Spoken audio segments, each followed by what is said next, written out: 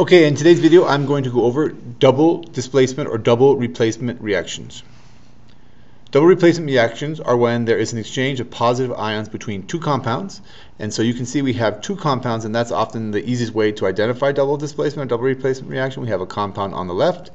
So we have two compounds on the left and two compounds on the right.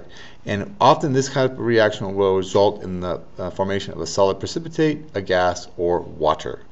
So here we have the general form. We have one compound, two compounds, one compound, and two compounds.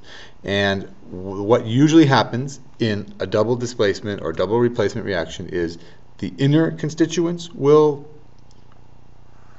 recombine, and then of course we do that to the inner ones. We have to do that for the outer ones, and then the outer constituents will recombine. So that's how you can figure out what the products are going to be, because you can see if we have B now is going to be formed with Y, bonded to Y. You see we have B, which is our metal. We write that first, and then we have BY. And then the outer two will recombine, and then we'll have A, which is our metal, with X, and we have AX over here. Okay, so that is basically what happens in a double replacement reaction. And like I said, you can identify them because you have two compounds on the left side and two compounds on the right side.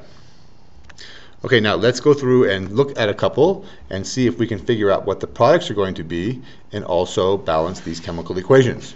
So here we have our first one, we have silver nitrate, we have a compound, and we have another compound, potassium chromate. Sometimes I think we have actually have four things. We have silver nitrate, that's one and two, uh, potassium is three, and our chromate is four, and they're going to recombine, and we're going to recombine the inner two.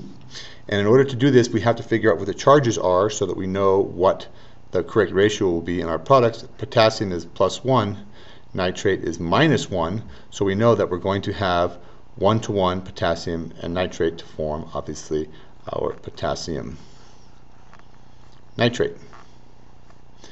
KNO3, that is supposed to be a 3.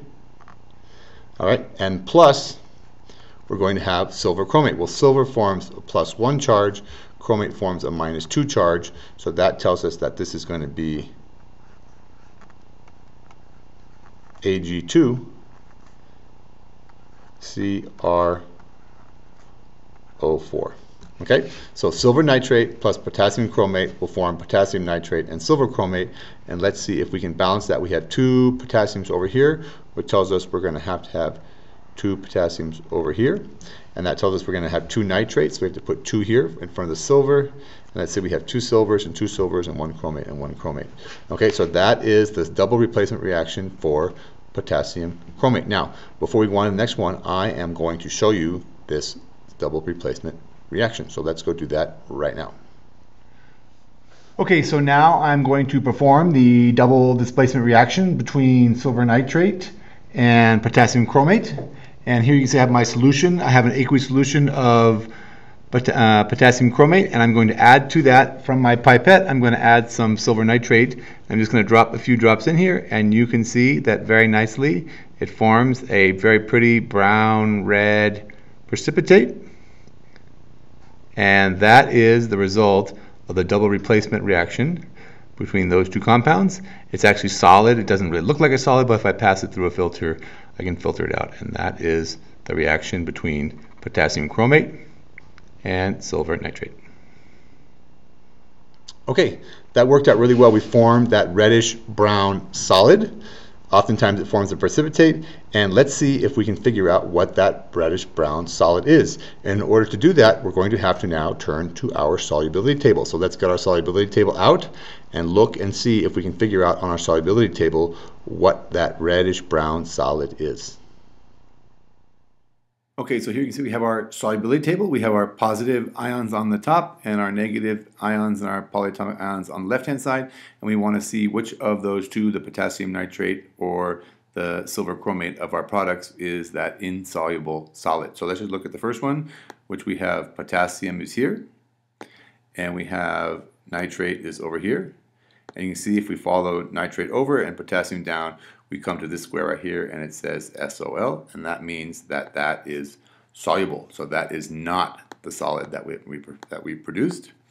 And let's see, the next one was silver and chromate. So here is chromate, and over here is silver. And you can see if we follow the silver and the chromate that they intersect right here. And that says insoluble, And that tells us that yes, indeed, that solid, that precipitate, that red brown precipitate that we formed is actually silver chromate. All right, so um, let's go back and do another one. Okay, that's right. That was silver chromate. That was our insoluble compound, the potassium nitrate being soluble. Okay, now let's go through and let's do the next one. This one we have potassium iodide, and then we have, uh, yeah, potassium iodide and lead nitrate. And in this case, we know, let's do the inner two first. We know that potassium forms, excuse me, the iodide forms a minus one, lead is plus two. So we know that in this equation, one of our reactants, or one of our products, excuse me, is going to be PBI2. And then the other product is the potassium, which is plus one, the nitrate, which is minus one, and once again, in this one, we're going to have KNO3. And let's balance that. We have two iodines, so we're going to have to put a 2 here, two potassiums. We're going to have to put a 2 there. And I think that's balanced because two potassiums, two nitrates, two potassiums, two iodines, two nitrates, and one lead. Okay, so that's balanced like that.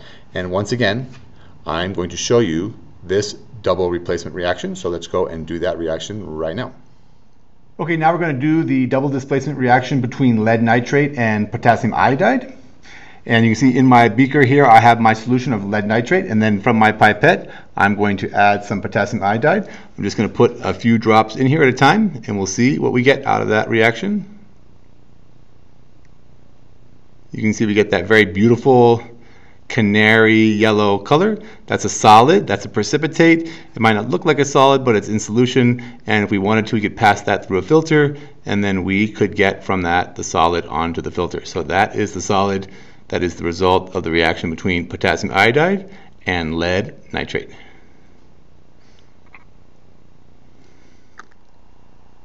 Okay, that's a very beautiful reaction. I like that. This, uh, double replacement reactions don't tend to be very flashy, but they are very beautiful. And you have that solid formed.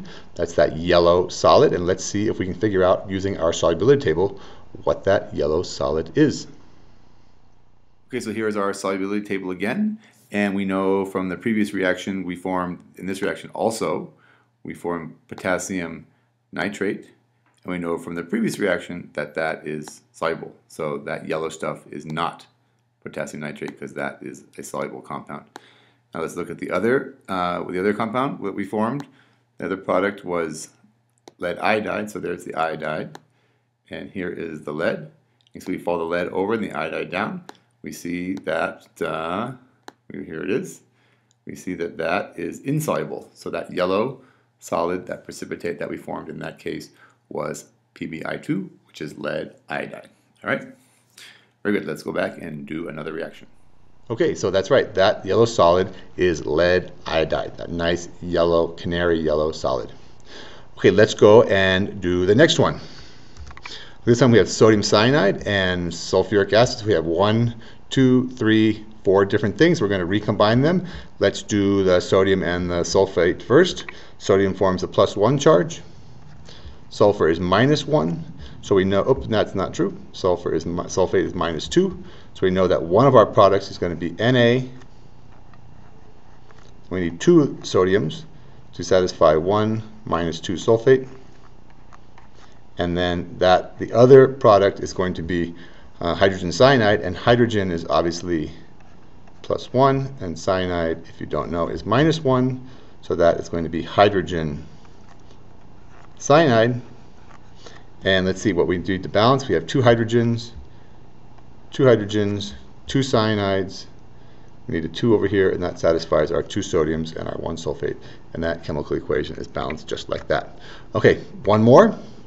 Uh, oh, and then this is a gas. Hydrogen cyanide is a gas, so we have a gas being formed in this one. So now we have calcium hydroxide and hydrochloric acid. So we have one, two, three, four ions here, and calcium is plus two.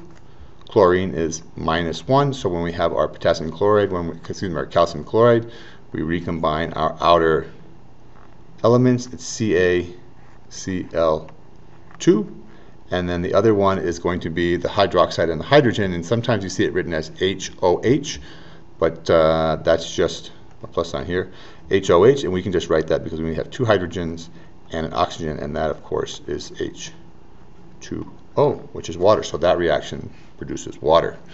Okay, now let's see, we need a balance. We have two chlorines, and that tells us we're going to have to put a 2 here, which gives us two hydrogens. We have two hydrogens, and let's see, we actually have on this side, we have two here, and two here, that's 4, so we're going to need two more here for two hydrogens, and that gives us two oxygens. We have two oxygens, one calcium, one calcium. Okay, so there you go. That chemical equation is balanced, and we want to just maybe put down minus 1 and plus 1 since we're trying to be complete here. All right, so that, uh, that takes care of all of that. We have our double replacement reactions. We have two compounds, four ions on the left, and two compounds and four ions on the right. And that is how you can identify a double replacement reaction. Okay, so thank you very much. Thanks for watching. I hope that was helpful, and we will see you next time.